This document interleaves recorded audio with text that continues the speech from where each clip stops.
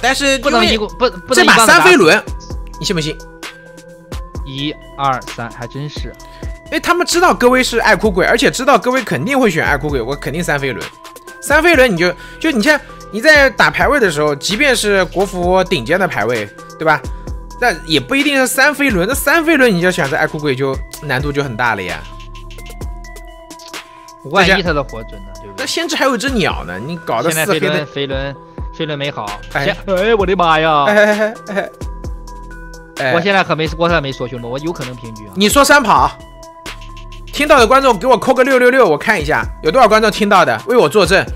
我也说的是三跑，没有那就关系。三跑呗，那就三跑呗。对，他还有一只鸟，还有个飞轮，我怕个毛线，搞得你一下能把我给拉没了一样，对不对？我这边飞轮，我，哎，对喽，哎呦，太着急了，为啥不防飞轮呢？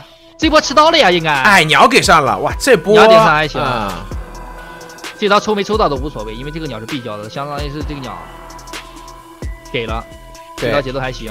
看一下这个火，这里再防防吸，这里我觉得没必要防吸啊，紫赶紧火，紫赶紧吃了。火，紫火，紫火封住，位置拉，啊有了，漂亮，这边回头。去回头望月，望了一朵火。这个击倒节奏还行，这个击倒节奏真还不错，但我不觉得他是赢局，我也不觉得啊。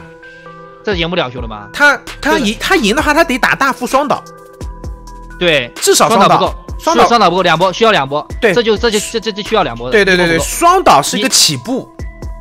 对，双倒是个平局的平平局的基石，嗯，两次双倒就是赢的赢的关键。对，因为第一波双倒续不上第二手节奏，第二波双倒才能续上第二手节奏。是是是是是，老杨分析除非你这。波救不下来，除非你这波救不下来，我我当我没说。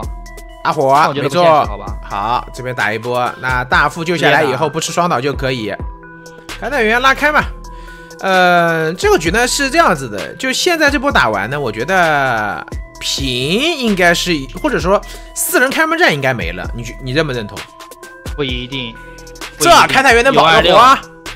有二六，人家闪现到现在都没交呢，我没交跟上了，没交呗，没交没交呗，没交没交呗。我闪现了呀，闪现闪现呗，闪现也不一定，闪现不就好了吗？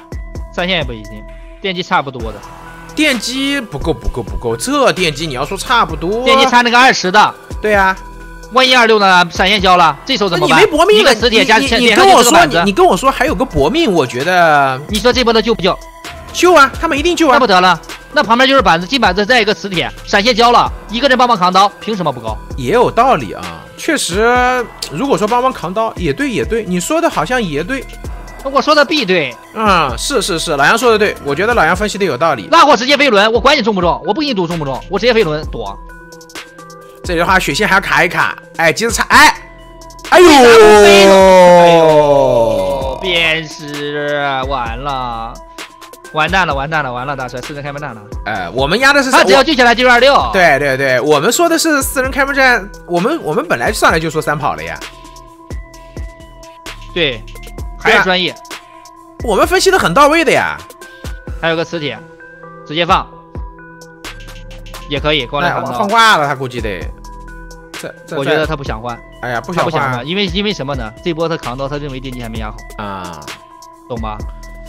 但你这边电机没压好，但是你这边还得再等一波，这电机就故意给你一够了呀。刀，哎，嗯故意给你一刀。磁铁封口，你看看就就是职业四黑打爱哭鬼，你看得有多难？哎，这边六就哪怕你爱哭鬼没失误，但是哎我这边就是够，对，我就是无赖。我就是靠我的配合压着你打。对，哇，这边两个磁铁，这边减速八他音除非那。波手椅守下来，对，那波手椅没救下来的话，应该是对真正的面露出来。来了。那那还是给机会了，没交那费了，还是人类给机会才能导致你这样。嗯，就是人类就正常打，你就不可能不可能说平局。怎么平啊？这个真我真想不到，他火够准了吧，兄弟们？